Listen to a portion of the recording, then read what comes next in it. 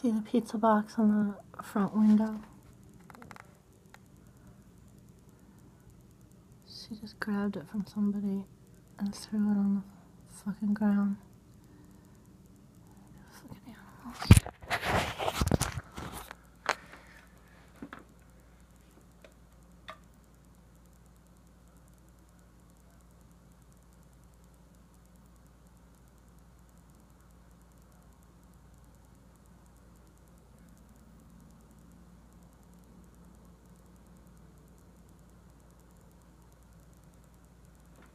I wish I caught that on tape. I'm so sick of filming people, but that's why I leave it on. I'm just amazed at how, like, the nerve.